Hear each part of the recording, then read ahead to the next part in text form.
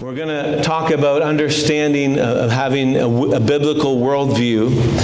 And the first few weeks will maybe kind of lay the foundation for what helps us to have a biblical worldview. And then in the weeks after that, we'll, we'll get into some things that are kind of topics uh, in our culture that we're living in today.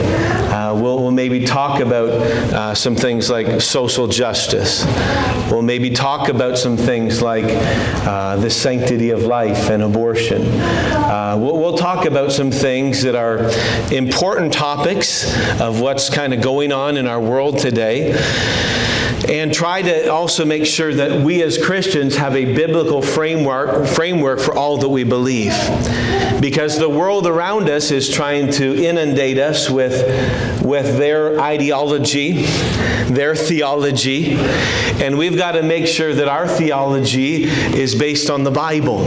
We need to know what is right and true based on what God says is right and true. So we're going to look at some important topics in the coming weeks, and I think it'll be important and helpful uh, to us. So let's go, here, if we can, to the book of Titus, and uh, we'll, we'll go here to Titus chapter number 3. Titus chapter number 3. I hope the lessons in the book of Titus have been helpful to you. I, they were helpful to me, and I thought they were important to uh, share in our church. And uh, I hope that they've taught you some things and challenged you about being what we ought to be as, as men and, and women, whether we're aged men, aged women, or young men, young women, even teenagers.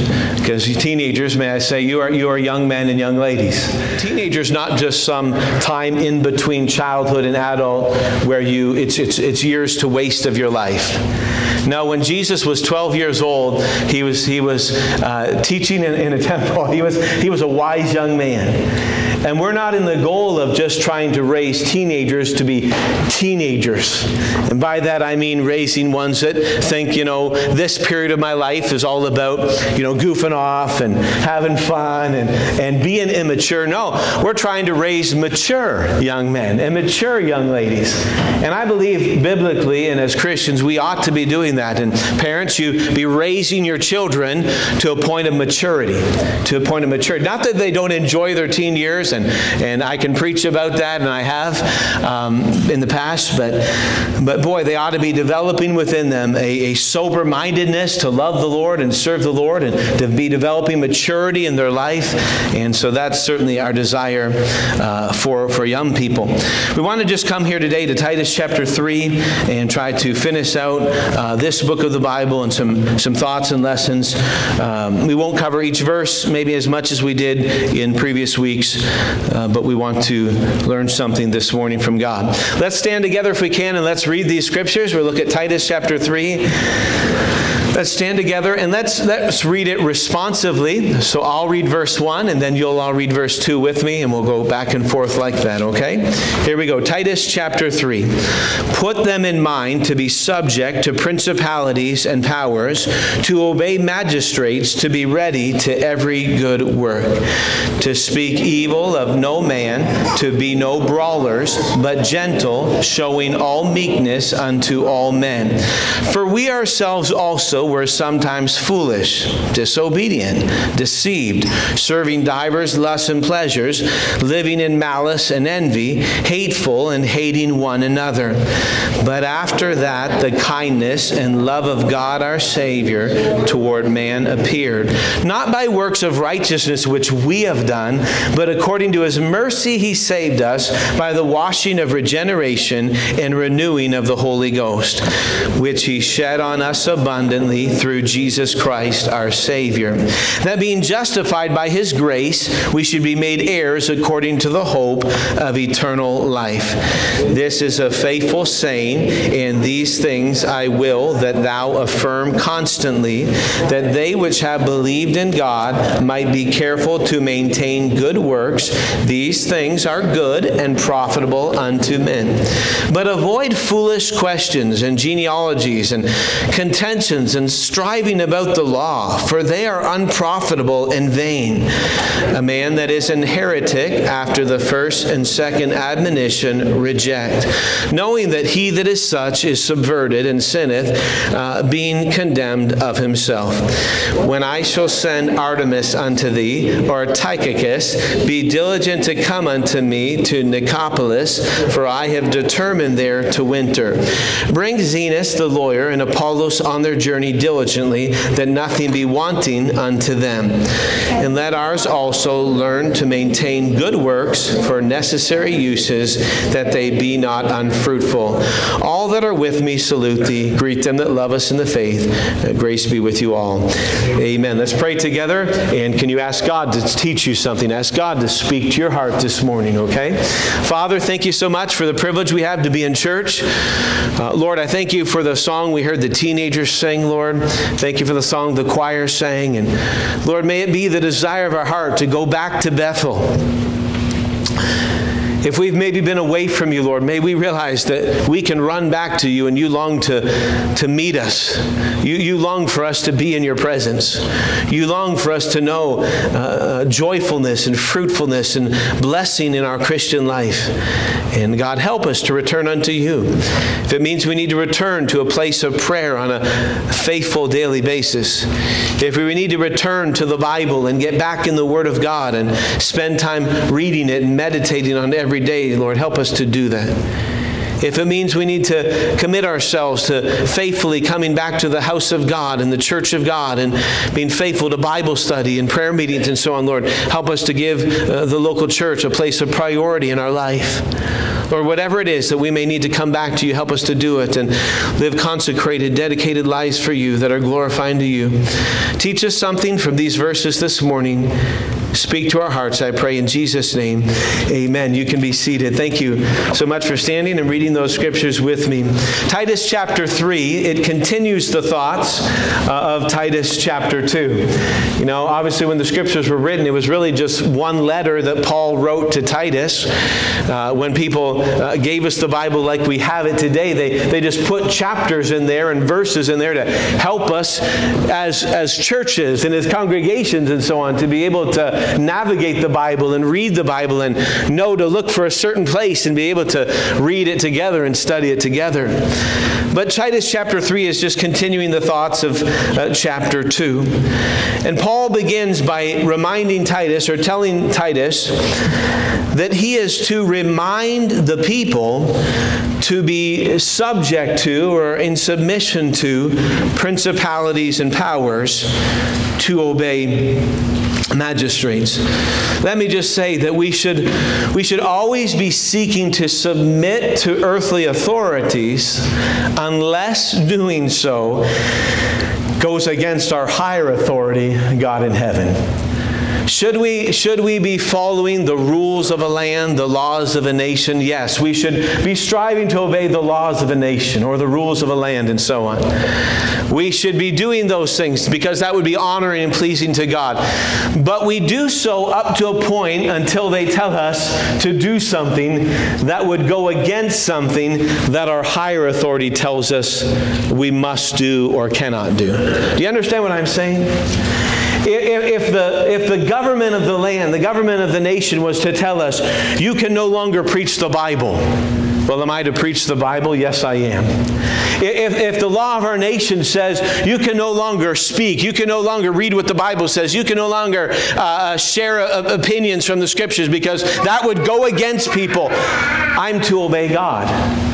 Uh, we're living in a scary time, in a scary nation. We, we think it's a free nation, but boy, there are people now trying to write into legislature things that would try to make it be illegal for us to, to read certain things in the scriptures because they might offend somebody. Uh, to, to not to, to read them, to speak about them, anything, because it might go against somebody. It's a sad day we're living in.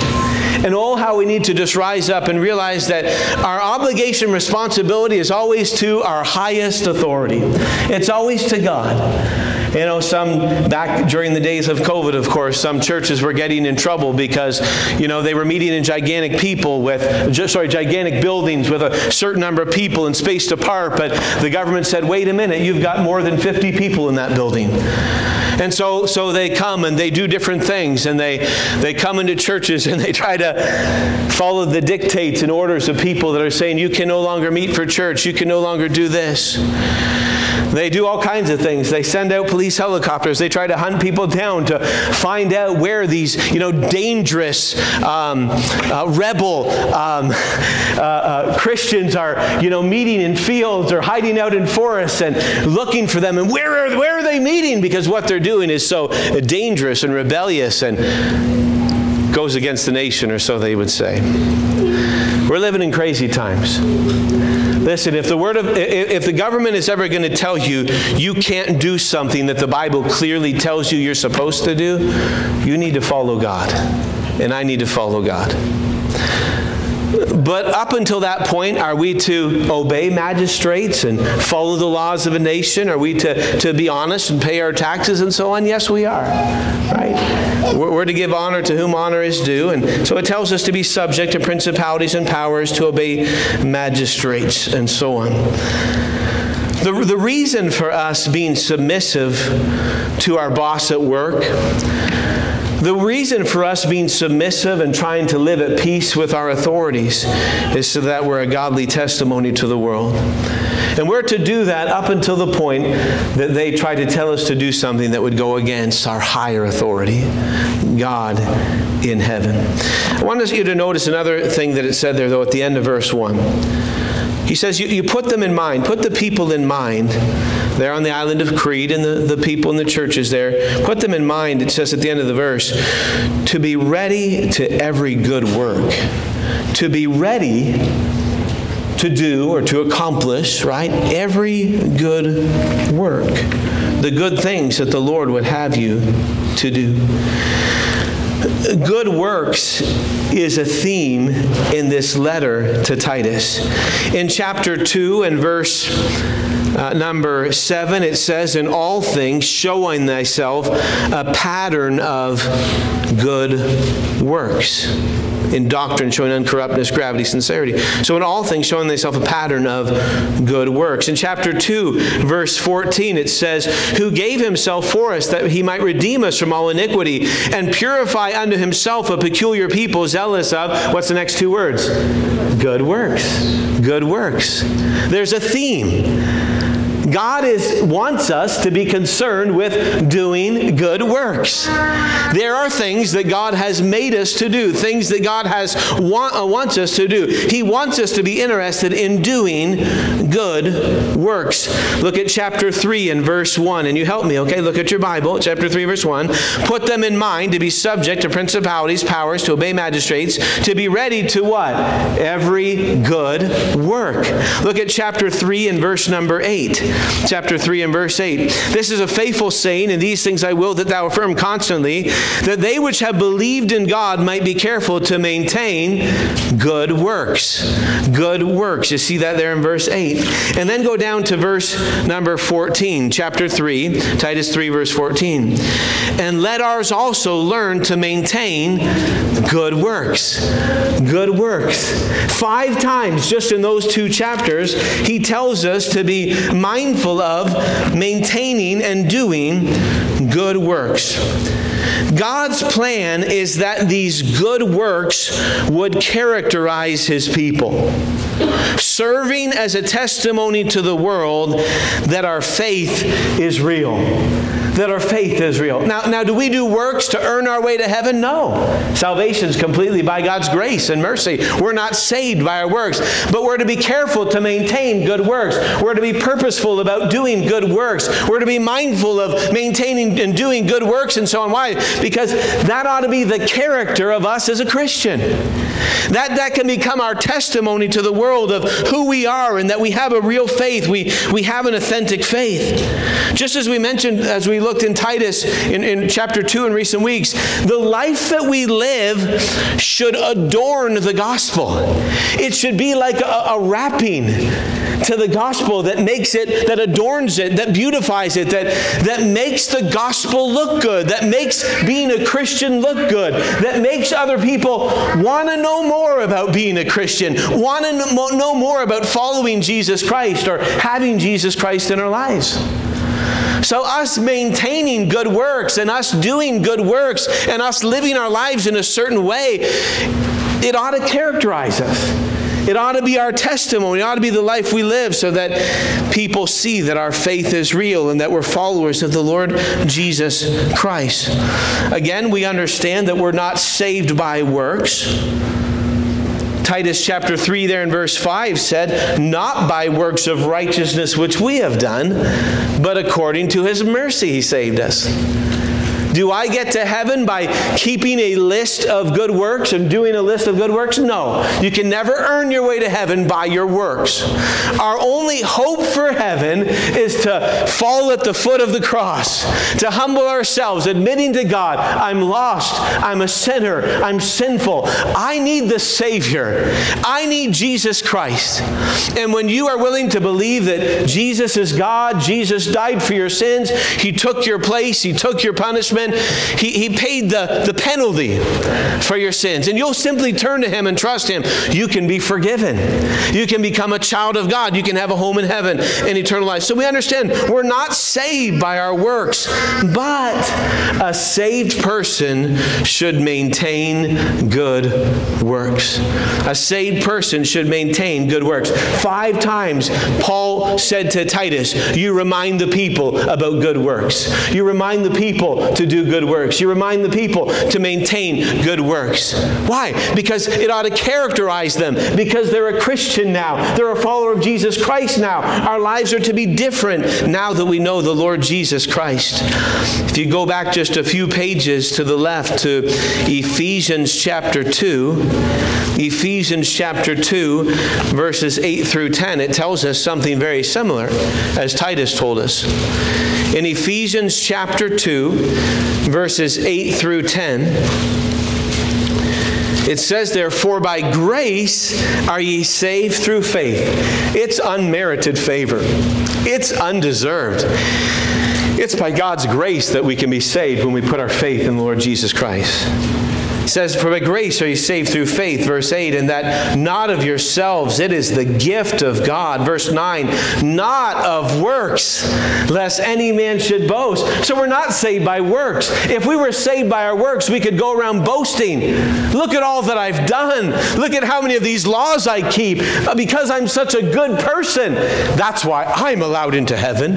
I'm better than my neighbors. I'm better. None of that matters. We are all sinners in desperate need of mercy and grace from the God of heaven. And only by mercy and grace can we be saved. It's not of our works. Do you understand what I'm saying? Do you understand that? We are not saved by our works. We are saved by the grace and mercy of God. But look what Ephesians 2 and verse 10 says. It just tells us we're not saved by works, we're, we're saved by grace, the grace of God. And then he says in verse 10, for we are his workmanship, created in Christ Jesus unto good works, which God hath before ordained that we should walk in them. We're God's workmanship.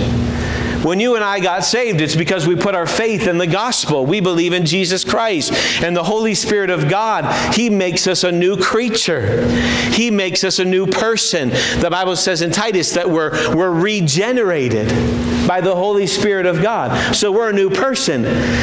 So we're all His workmanship.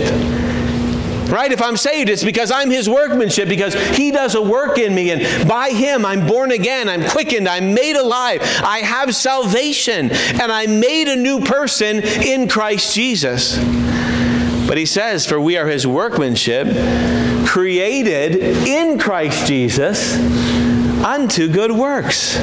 So now that he has saved me and I'm his workmanship, there's no doubt about it that he has good works for us to do.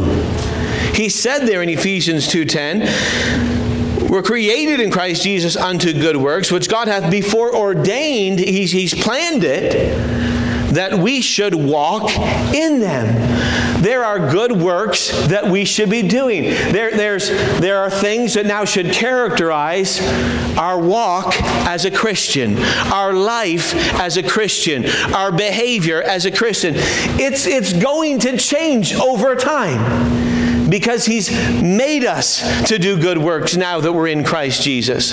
As we allow Him to keep changing our, our heart and our mind and so on. See, God was working in our spirit is going to affect working in our soul and our heart and our mind and our thinking. It's going to affect then how we live and our actions, the things that we do, our works. And so he wants to bring about a change in us that causes us to do good works, that we should walk in them, that we should maintain good works. There ought to be things that characterize our life now as a Christian that lets everybody know they're a follower of Jesus Christ. It shouldn't be that you would, you would work with someone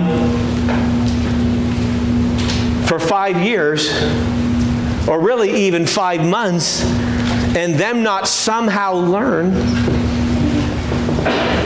them not somehow learn that you are a Christian. Right? Be, because he's going to start to be changing our behavior. He, there's going to be some good works that we're going to begin to walk in and walk in a new way. Not the same man. I, I don't walk the old road, I, I walk a new road, right? And so there are good works, certainly, that the Lord has for us to do. The life that we live should show that we are no longer the same man that we used to be, but that He has changed us. Back there in Titus chapter 3, Titus chapter 3, notice verse 1 where He said, Be ready to every good work. Verse 2, Speak evil of no man we're not to speak evil of others like maybe we would have used to. Why? Because we're a Christian now. We're not to be brawlers and fighters. We're, we're to be gentle. We're, we're, we're, to, we're to show meekness to others. You know, one of the things that could be a great testimony to your coworker or your neighbor was that before you got saved, you would just get into a royal fight with them about things. You would get in some royal arguments with them about things. But now that you're a Christian, you don't do that anymore. Because God's beginning to work in you. The fruit of the Holy Spirit's beginning to be produced in you. Are you perfect? No. But you're not a brawler like you used to be. You're not the fighter like you used to be. You're not going to be fighting for your rights and arguing about everything like you used to be. No, you'll be more willing to be submissive or meek or gentle or in honor prefer somebody else or let them get their way. I'm, I'm not going to fight over something that really doesn't matter. Why? Because you're different now. You're a Christian. Your, your actions are different than they used to be. You know, it, it, it ought to be that your husband, your wife, if, if they're not saved, they see that you're different than you used to be. Some of the things that used to control you no longer control you. Some of the ways you used to act, you don't act that way any longer. Why? Because He's changing your behavior. He's changing you. He's causing you to do good works. He's, he's making you a, a new man or, or a new wife for that matter right? First Peter 3 actually speaks to where there's wives who are Christians and their husband's not saved. It could be, though, that there's husbands that are saved and their wife's not saved. It, it could be either way. But listen, when it comes to relatives, when it comes to neighbors, when it comes to co-workers, our lives ought to be being changed so that it becomes a testimony to them that we're a new creature that we have Christ in us. We're just not the same person that we used to be.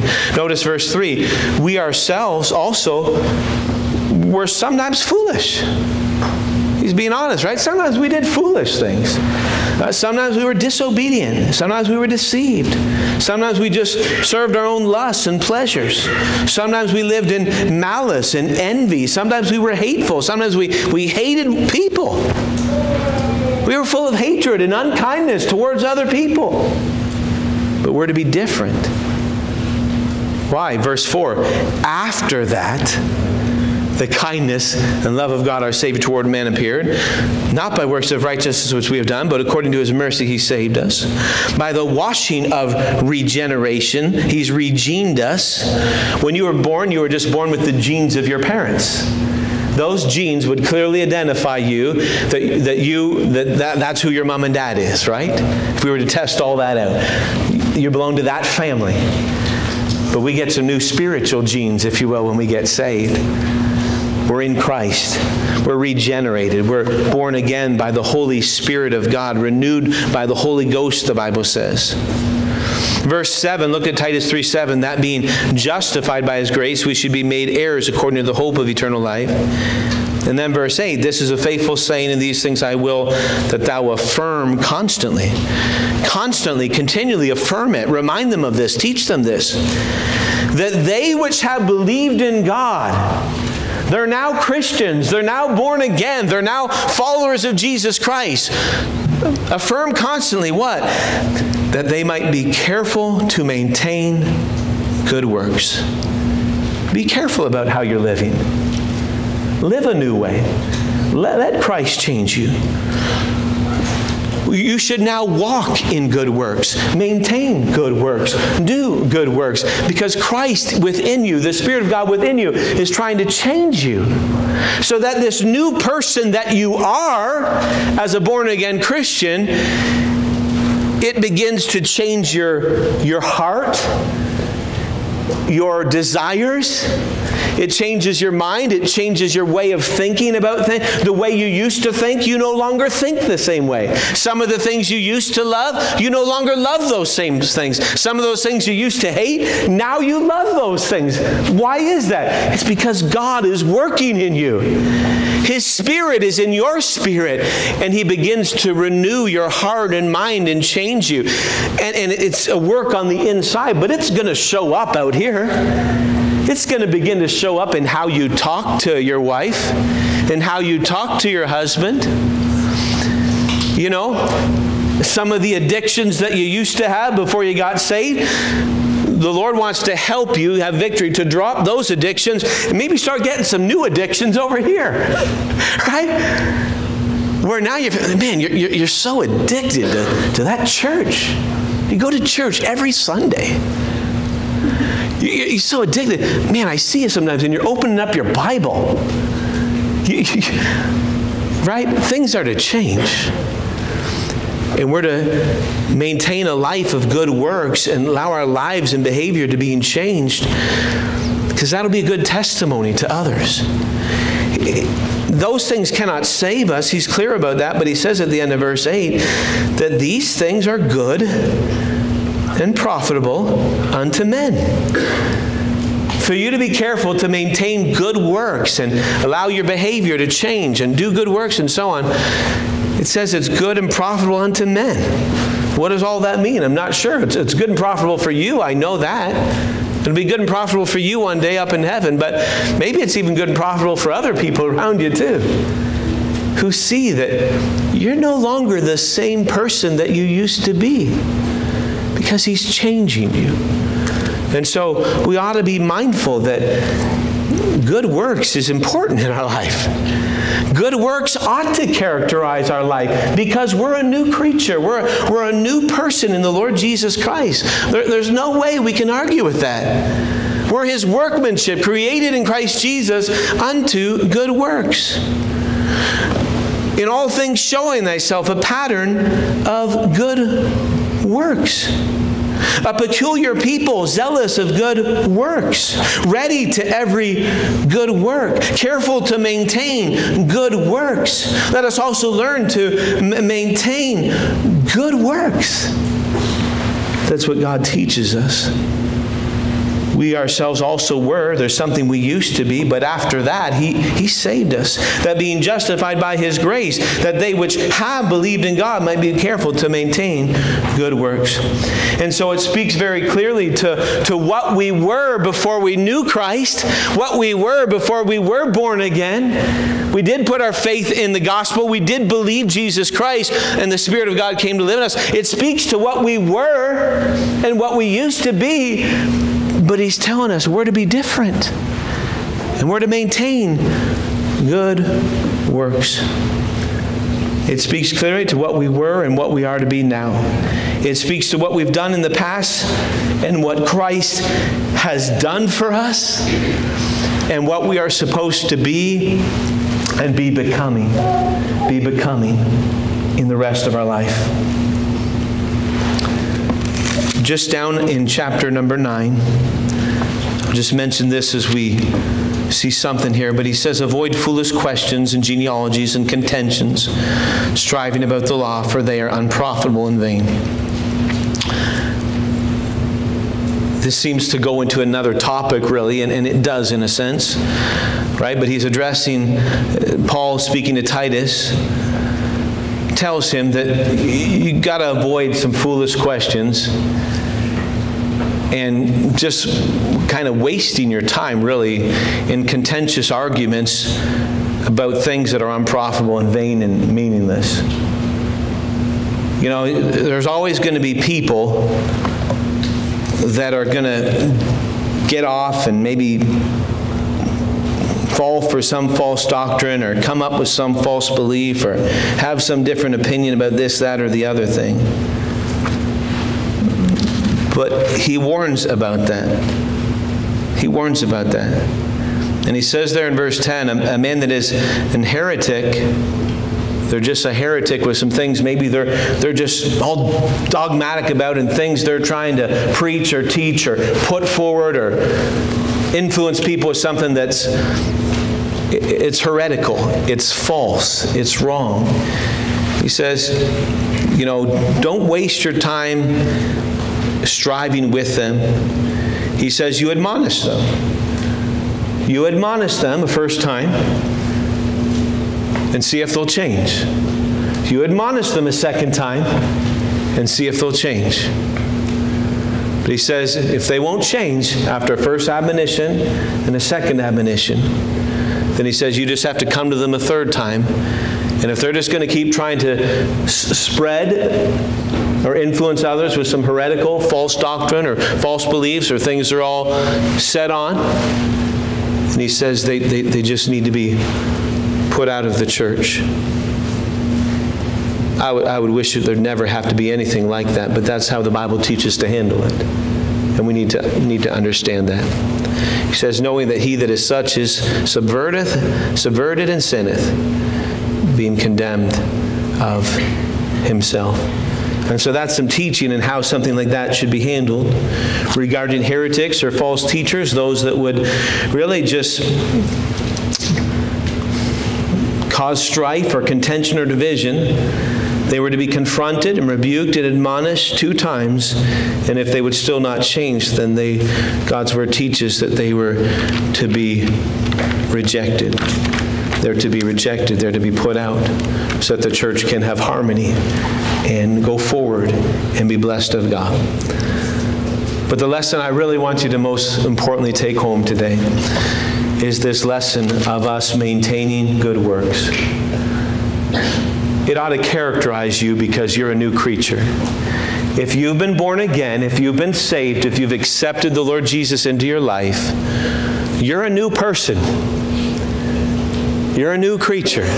You are in Christ Jesus. You've been justified. You're set free from the penalty of sin, from the punishment from sin, that you're no longer going to face that. For Romans 8 1 says you're no longer condemned if you're in Christ Jesus. But understand that now that you're in Christ, some new things should characterize your life. You're not the same person that you used to be. And so it shouldn't be works of the flesh that characterize you. It should begin to be that there's some works of the Holy Spirit and fruit of the Holy Spirit that characterize your life. Because we're His workmanship created in Christ Jesus unto good works right?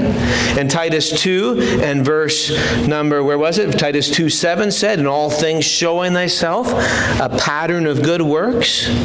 Titus 2 and verse 14 said, He wants to purify in himself a peculiar people, zealous of good works. Romans 3 1, uh, be ready to every good work. Uh, Romans, uh, sorry, not Romans, sorry, Titus rather, Titus 3 and verse 8, affirm constantly that they which have believed in God might be careful to maintain good works works. These things are good and profitable unto them. And then Titus 3 and verse 14, let ours also learn to maintain good works for necessary uses that they be not unfruitful. God wants us to be being changed, becoming fruitful Christians, growing Christians, maturing in the Lord. And so there ought to be good works that begin to characterize your life as you allow the Lord to change you. And that should be your desire.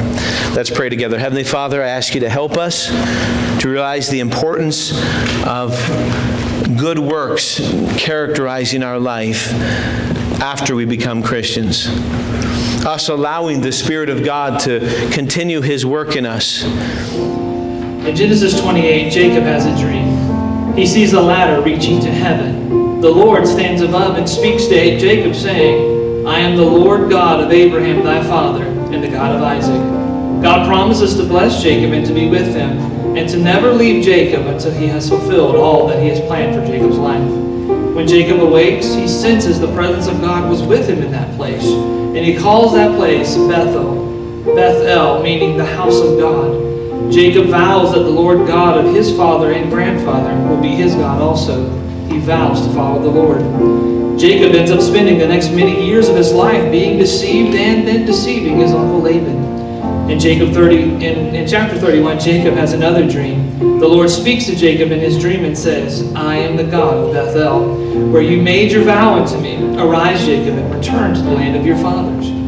In chapters 32 and 33, Jacob seeks grace and kneels to restore his broken relationship with his brother Esau.